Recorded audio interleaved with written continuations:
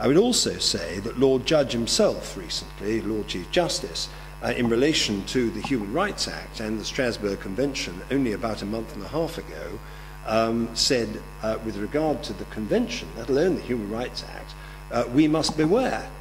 And he said that because he said that a first duty of the judge is, judges, is to assert uh, the common law,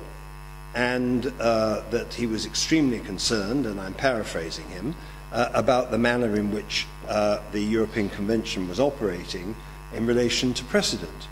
and the manner in which ju- the judiciary was applying those precedents. We also have Lord Hoffmann in a very important speech about a year, a year and a half ago, uh, speaking in similar terms about his concern uh, about the federalizing tendency of the court in Strasbourg.